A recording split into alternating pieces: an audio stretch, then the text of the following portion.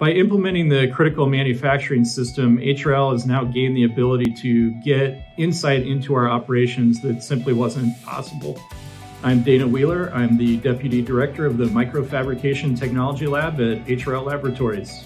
Previously, when we were operating on our home built system and partially operating on paper, it was really difficult to understand even the most basic key performance indicators of the operation.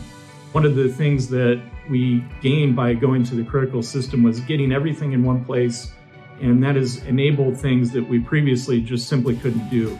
In addition, we've been able to greatly reduce the amount of time that we spend gathering raw data. The critical system allows us to compile everything into a central repository. With a couple of clicks of a mouse, we actually get that information in a matter of seconds. The system is based on HTML5 and JavaScript, and as such is something that works on all your modern browsers. This is not something that we saw in other systems.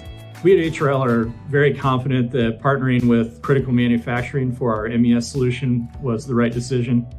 We knew that very early on when we saw the value of having the scheduling feature and the ability to make custom UI pages, as well as the ability to create and manage experiments within the system. The critical manufacturing execution system has allowed HRL to streamline its operations, our so-called dead time, where the material in our fab is not moving, has been reduced significantly.